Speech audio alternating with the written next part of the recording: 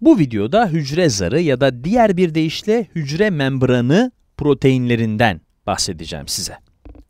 Hücre zarı yapısının %75'ine e, yakını ya da %75 kadarının sadece proteinlerden oluşabileceğini biliyor musunuz? Ancak çoğu hücre zarı yapısı %50 veya daha azı e, oranında proteinden oluşur. Proteinlerin önemi ise hücre zarı tarafından yürütülen hemen her olayda görev almalarıdır. Gelin şimdi hücre zarına bir de yakından bakalım. Buraya çizdiğim şey hücre zarını oluşturan fosfolipitlerden biri. Bunun gibi bir sürü fosfolipid bir araya gelerek çift katlı lipid katmanını oluşturur. Burada da daha önceden çizdiğim bir çift katlı lipid katmanı görüyoruz. Evet, küçük küçük fosfolipitlerin nasıl bir araya gelerek bu iki katlı yapıyı oluşturduğuna bir bakın hele. Hücre zarında iki çeşit protein bulunur. İlk proteinimizi şöyle maviyle göstereyim size, evet. Bunlara integral proteinler diyoruz. İntegral proteinler çok fazla sayıda olabilir ve hücre zarı boyunca her yerde karşımıza çıkabilir. Bu yapı zarla bütünleşmiş halde olduğundan, yani zara entegre olduğu için iç kısımda veya içsel anlamına gelen integral protein adını almıştır. Bahsedeceğim diğer protein ise genellikle zarın üstünde yerleşmiştir. Bazen bir kısmı zarın içine gömülü biçimde veya integral proteinlerin üstünde görülebilir. Bu proteine de ya da bu tip proteinlere de biz periferal proteini yani dış kısımda veya dışsal protein diyoruz. İntegral olanın periferal olandan farkı ise hücre zarındaki konumunun kalıcı olması.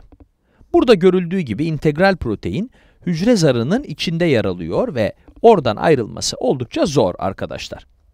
Periferal proteinler ise hücre zarına veya diğer proteinlere kolayca bağlanıp istediği zaman oradan ayrılabilir. Bunlar gezici, gezgeç arkadaşlar. Bunlar gezmeyi seviyor. Periferal proteinlerin hücre zarında çeşitli görevler üstlendiğini biliyoruz. Mesela bir hormon periferal protein olabilir.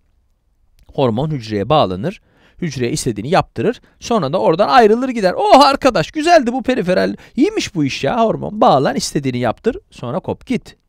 Periferal proteinler aynı zamanda hücre zarının hücre içine bakan tarafında da bulunabilirler. Çok nadir karşılaştığımız bir başka protein de bu şekilde hücre zarının içinde bulunur. Bu proteine lipid bağlı protein diyoruz.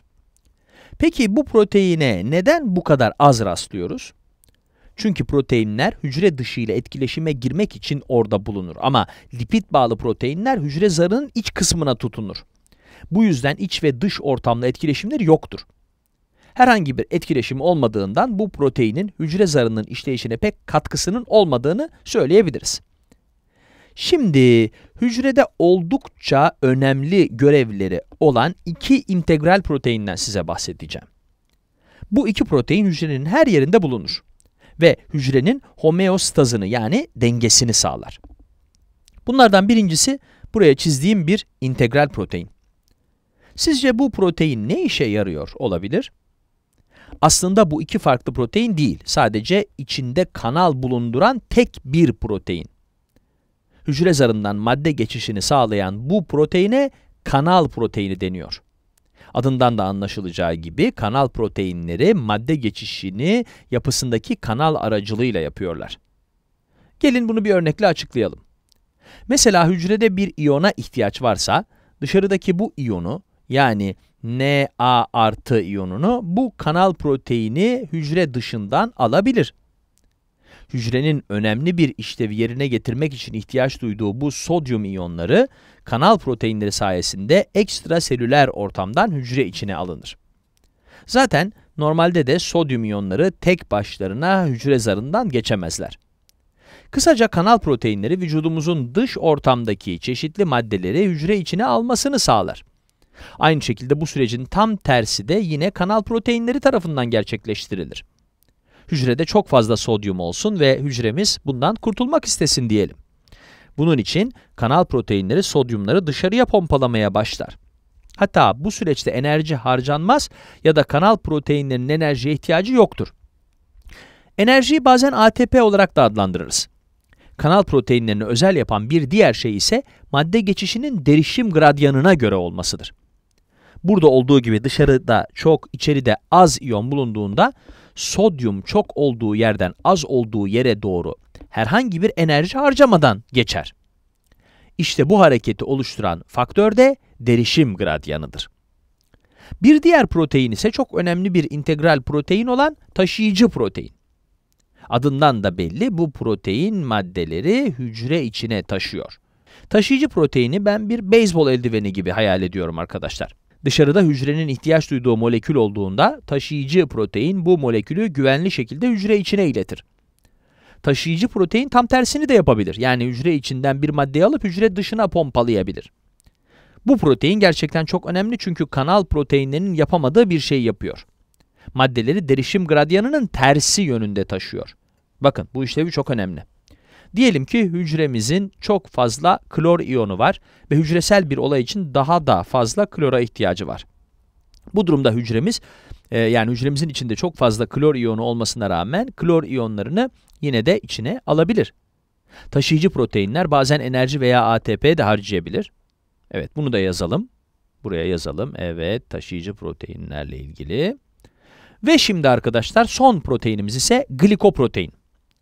Glikoproteinin yapısı nasılmış bir bakalım.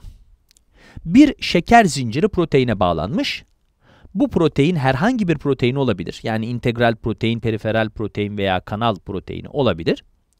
Glikoprotein kelimesi içinde gliko öneki taşıyor ki bu da biliyorsunuz neydi? Şeker demek. Yani aslında glikoprotein şeker ve proteinden oluşuyor. Glikoproteinler sinyalizasyonda görevlidir. Yani bir hücrenin başka bir hücreyi tanımasını sağlar. Şöyle bir özetlersek bu videoda hücre zarını ve çeşitli proteinleri resmettik. İki ana protein sınıfımız var değil mi? İlki hücrenin dışında olan ve uzaklaştırılması kolay olan periferal proteinler. İkincisi e, zar içinde hapsolan ve uzaklaştırılması güç olan integral proteinler. Ayrıca bir de lipid bağlı proteinlerden bahsettik. Zar boyunca hücrenin derişim gradyanı ile madde taşınmasına e, izin veren kanal proteinlerini gördük. Kanal proteinleri bu geçiş için enerji veya ATP'ye ihtiyaç duymuyordu, bunu hatırlayalım. Bir de neydi? Taşıyıcı proteinlerimiz vardı. Bunları bir beyzbol eldivenine benzetmiştik.